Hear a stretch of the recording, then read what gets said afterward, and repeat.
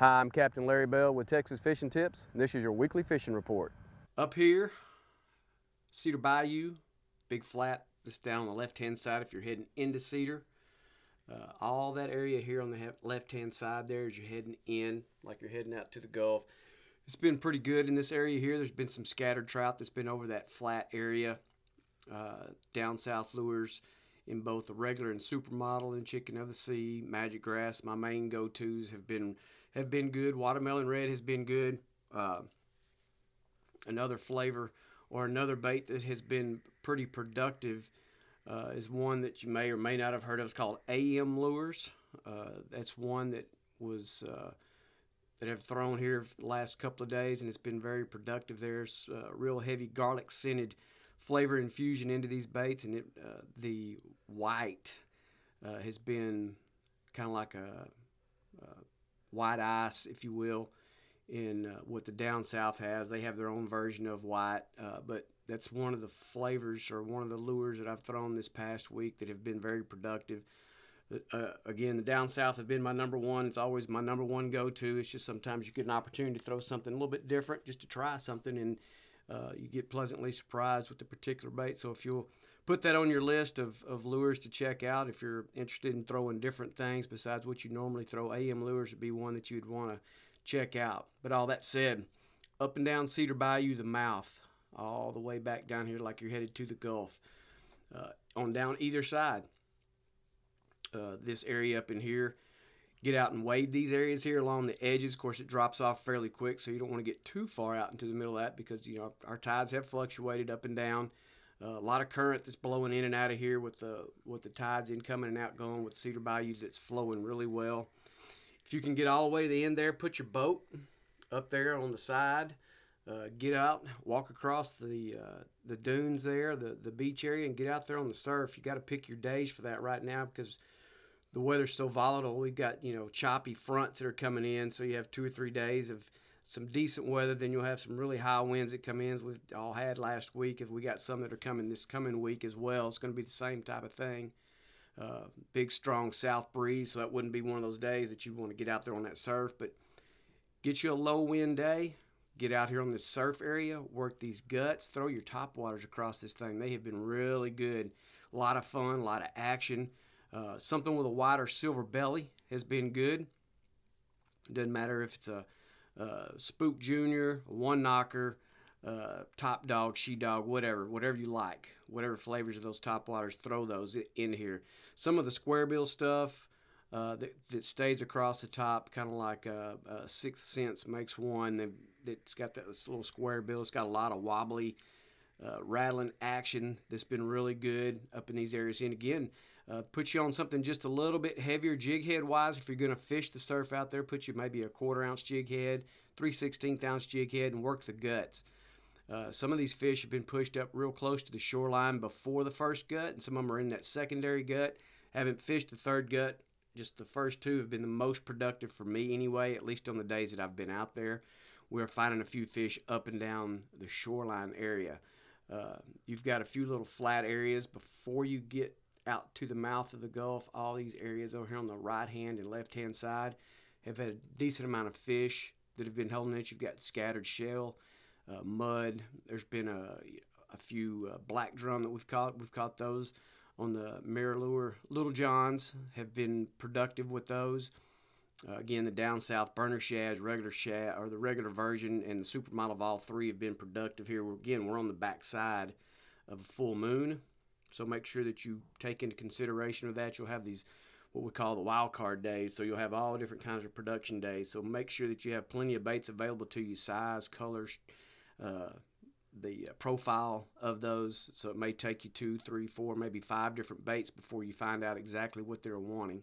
But the more you pay attention to them, what the fish will dictate to you what they want. Uh, again, always incorporate a major reminder into your fishing day to keep your production level at a nice steady pace. Back up here in Mission Bay. Haven't been back up here in a little bit, but here recently I've made a couple of trips back up in this area here. Uh, water levels have fluctuated quite a bit. If you've been on the water, you should well know this. Again, this area back up in here is really tide predicated. You really want to make sure that you're paying attention what your tide levels are. lots of little shell bars and shell reefs, shell pads, shell humps. Everything shell is all back up in this area here around the mouth, over to the right hand side, some out into the middle. Uh, I like to get to the back shoreline where uh, Mission Creek or Mission River has, comes into it. Then you get in uh, Mission Lake further back, all back in that area there. So you get on that back shoreline, close to where the river flows into uh, the Mission Bay here. There's been uh, a little bit of water flow that you always got some current that's working through that area, and that's one of the areas that you actually can wade is on that back shoreline. Anything on this right hand side, you're going to be real hard pressed to get out of the boat and wade this area. So if you want to fish all this area over here to the right or even out in the middle, make sure that you stay in your boat because it's really sticky, soft mud, and you're going to sink way down into it. Found that out the hard way.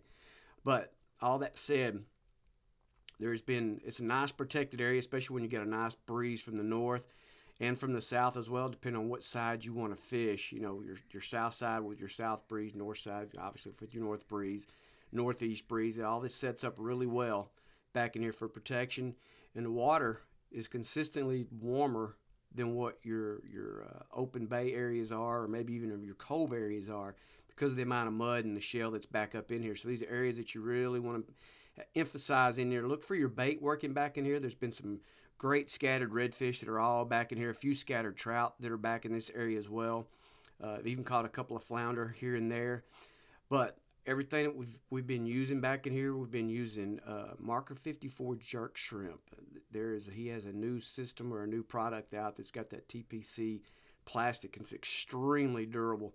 If you don't really want to freeline it, put it up underneath the popping cork and work that thing. Everything eats a shrimp and he's got some really great products there at Marker 54 that you can really use to, to, your advantage, especially at different times of the year with the amount of shrimp that we have that migrate through our system in the brown and the whites both at different times of the year. Again, uh, down south in both the uh, burnish, the burner shad have been good, regular version have been good. Uh, that other bait that I was mentioning earlier, the AM lure, has been also been a productive bait. Just one of those that have been trying and throwing and seeing what's happened. So again, you may want to put that one on your product list to try from time to time. Uh, top water bait has been moderately good back in here. The uh, soft dines, regular version, working those when you're working that back shoreline. Take your time with that and, and really work. You got some scattered grass. It's all back in that area there work on those potholes, work in the areas, work the edges of that, work the edge of the gut that comes out from the creek, the points. All those are points of emphasis that you really want to work. Locate your baits that are working back in here. Again, incorporate a major or minor and see what your tide levels are before you start venturing off back in here, just to make sure you keep yourself safe. Long Reef Bend area. Again, the, the this is one of these other areas too with our, our tides that fluctuate so much.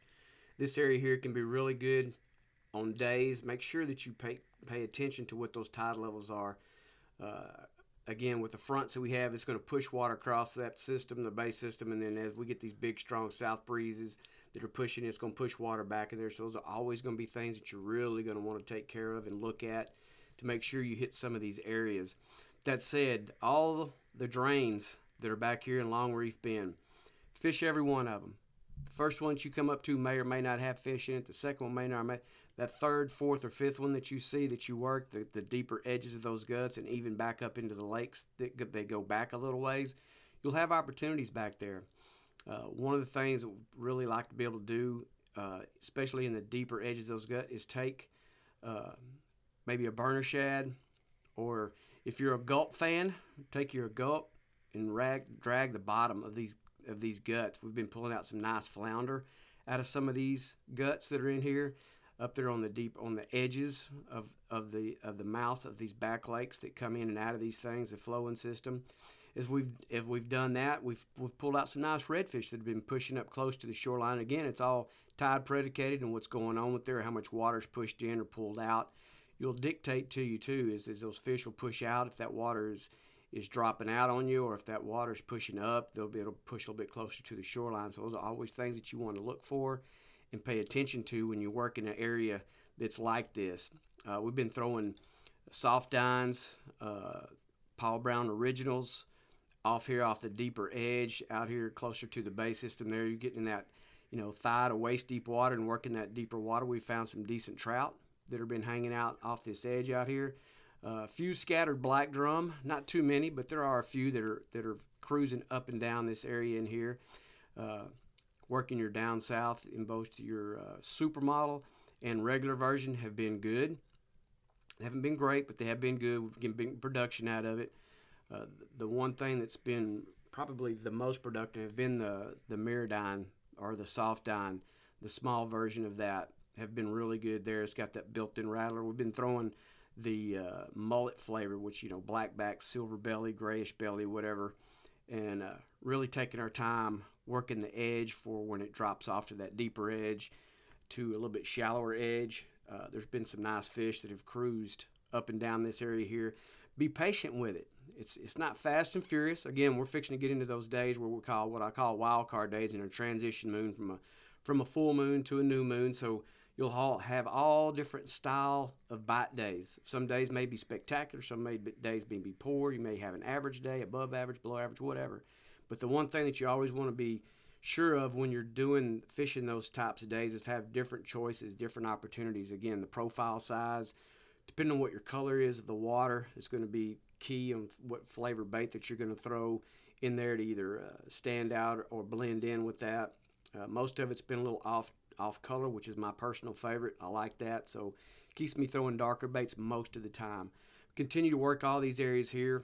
Uh, again, majors and minors are always key points during your fishing day to continue to be productive throughout your fishing day. Be patient with it, locate some bait, and you'll you'll locate fish out here in Long Reef Bend. For watching, I'm Captain Larry Bell.